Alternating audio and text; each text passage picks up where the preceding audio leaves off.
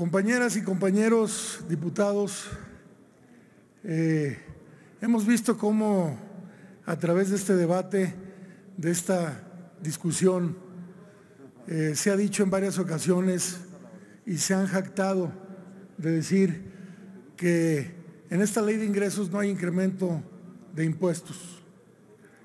Pero precisamente la reserva que presento yo el día de hoy tiene que ver con el incremento a las retenciones al ISR que se hacen a través de las instituciones financieras a las personas pues que invierten ahí eh, sus recursos y sus ahorros.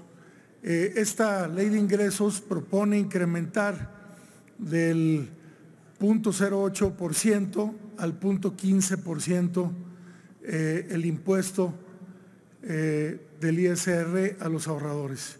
Y nosotros consideramos que en este momento, lejos de incrementar la carga impositiva, además estamos inhibiendo el ahorro eh, de las personas en México.